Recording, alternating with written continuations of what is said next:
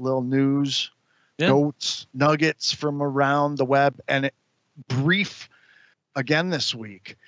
Um, so we're going to kick things off with at this year's National Sports Collectors Convention, PSA announced the winners of their annual PSA Set Registry Awards. Top award winners and new Set Registry Hall of Fame inductees were honored at a special PSA sponsored event.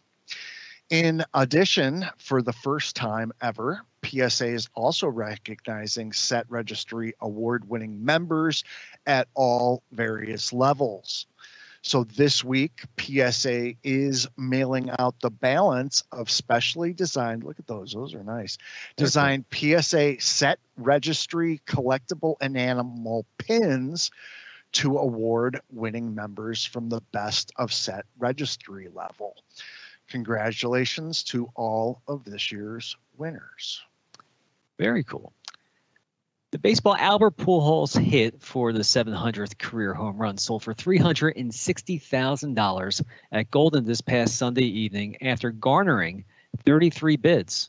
Pujols became just the fourth player in Major League Baseball history to achieve the lofty total, joining the ranks of Babe Ruth, Hank Aaron, and my guy, Barry Bonds. I have autographed baseballs from three of the four of them. That's I- I, fantastic. bet I bet you can guess which one I don't have. I'm gonna say the one that featured in Sandlot. they never did give that back to me. Um, right.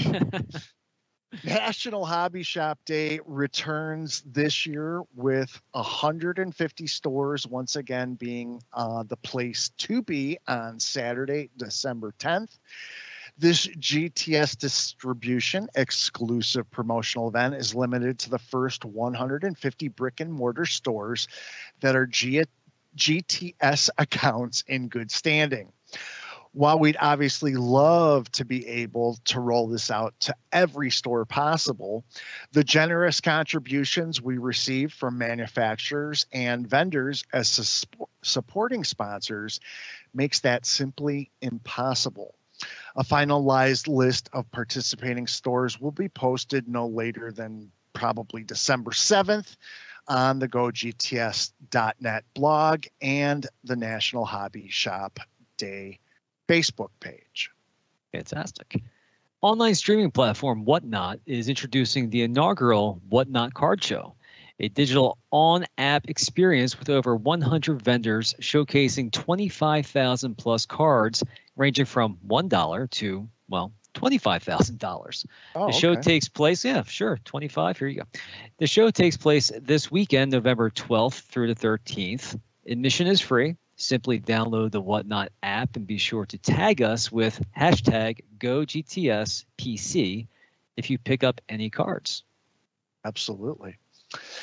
Mark your calendars for Cyber Monday, as this is when tickets for the 2023 National go on sale.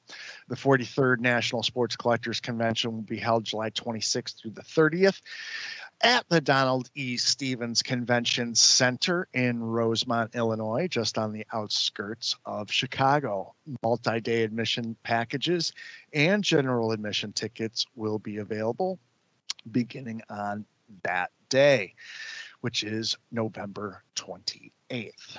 And that's a look at this week's hobby happening.